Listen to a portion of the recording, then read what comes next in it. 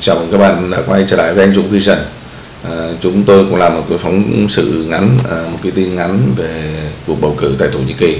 Lẽ ra tôi phải làm à, cách đây khoảng 5 tiếng đồng hồ nhưng mà do lúc đấy ngủ quên mất. Thì à, Tổng thống à, Recep Tayyip Erdogan đã hoàn thành một cuộc bầu cử ngày 28 tháng 5 với chiến thắng phát biểu trước 320.000 người về trong khu liên hiệp thì Tổng thống Erdogan cũng đưa ra một số cái thông điệp về nền kinh tế thu hút về sự chú ý về các vấn đề lòng tin, sự ổn định. Và ông nói rằng lãi suất sẽ giảm xuống dưới 8% và mọi thứ sẽ đều giảm. Dưới đây là một số thông điệp đáng chú ý của Tổng thống Erdogan. Các đồng nghiệp thân mến tôi chào các bạn với những tình cảm chân thành nhất. Chúng ta đã hoàn thành vòng 2 của bầu cử tổng thống. Tôi muốn bày tỏ lòng biết ơn đối với đất nước của tôi, đã cho chúng tôi một ngày dân chủ nữa. Tôi xin chúc mừng tất cả các thành viên trong tổ chức của chúng ta các chi nhánh phụ nữ, thanh niên và các cử tri của chúng ta và tất cả những người đã tự nguyện làm cho cuộc bầu cử diễn ra suôn sẻ. Tôi xin chúc mừng tất cả các anh chị em đã đặt hết tâm huyết vào sự nghiệp của Đảng AK. Cảm ơn nhóm chính trị của chúng tôi. Tôi xin chúc mừng những công dân của chúng ta đã đi bỏ phiếu ở nước ngoài với tỷ lệ bỏ phiếu rất là cao.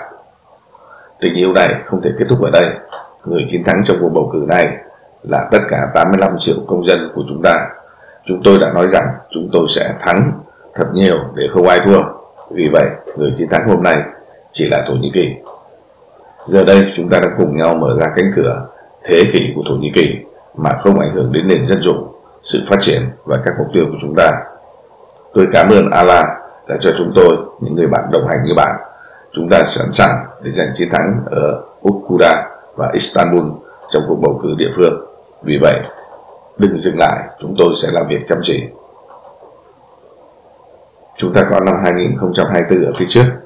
Bạn hiểu những gì chúng tôi đang nói phải không? Chúng ta đã sẵn sàng giành chiến thắng ở cả Uskuda và Istanbul trong cuộc bầu cử địa phương năm 2024 chưa? Vì vậy, đừng dừng lại, chúng tôi sẽ làm việc chăm chỉ. Hiện tại, tôi đã nói từ cảnh sát, tôi đã có bao nhiêu công dân ở quảng trường giới hạn? 55.000. Các cuộc bầu cử đến rồi đi, lũ lụt đi, cát vẫn còn. Cái chính là đất nước chúng ta không chạy mục tiêu dân chủ, dân tộc chúng ta chăm lo, đoàn kết thống nhất. Đây là thông điệp lớn nhất của cuộc bầu cử này.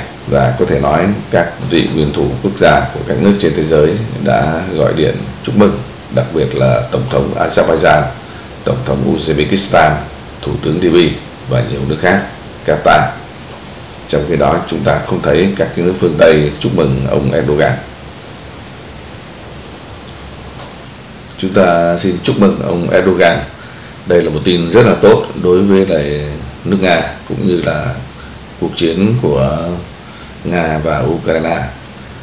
Đây là có thể là một tiếng nói đáp lại cái sự ờ, tranh đua ờ, cũng như là ừ, cố gắng bóp nghẹt cái nền dân chủ tại Thổ Nhĩ Kỳ để đưa lên một cái chế độ thân với phương Tây, nhưng đã hoàn toàn thất bại.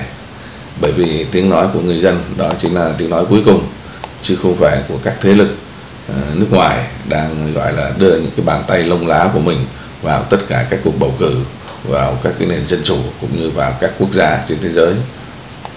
Chúng ta một lần nữa chúc mừng ông Erdogan.